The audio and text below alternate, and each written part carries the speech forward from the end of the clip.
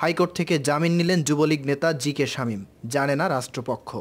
Casino কাণ্ডে গ্রেপ্তার বহিষ্কৃত যুবলীগ নেতা জি কে শামীম অস্ত্র মামলায় হাইকোর্ট থেকে জামিন পেয়েছেন। বিচারপতি এ কে এম আসাদুজ্জামান ও বিচারপতি এস এ মুজিবুর রহমানের হাইকোর্ট বেঞ্চ ছয় ফেব্রুয়ারি তাকে ছয় মাসের জামিন দেন। শনিবার কোর্ট সংশ্লিষ্ট একাধিক সূত্র জামিনের বিষয়টি নিশ্চিত করেছেন।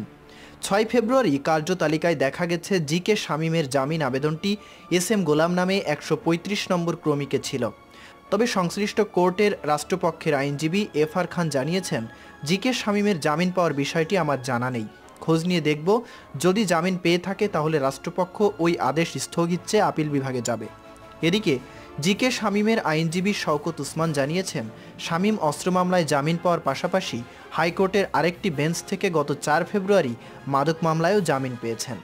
এর আগে গত দুই জানুয়ারি অস্ত্র মামলায় জি কে শামীম ও তার সাত দেহরক্ষীর বিরুদ্ধে দেওয়া অভিযোগপত্র আমলে নেন ঢাকা মহানগর দায়রা জজ কে এম ইমরুল কায়েস।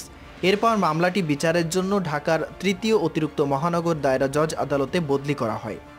গত বছরের সাতাশ অক্টোবর জি কে শামীম সহ তার সাত দেহরক্ষীর বিরুদ্ধে আদালতে অভিযোগ জমা দেয় র্যাব।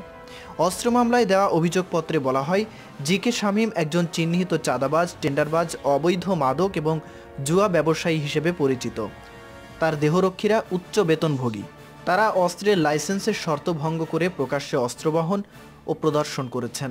এর মাধ্যমে জনমনে ভীতি সৃষ্টি করে বিভিন্ন ধরনের টেন্ডারবাজি, মাদক ব্যবসা সহ বিভিন্ন বাস টার্মিনাল ও গরুর হাটবাজারে চাঁদাবাজি করে আসছিলেন।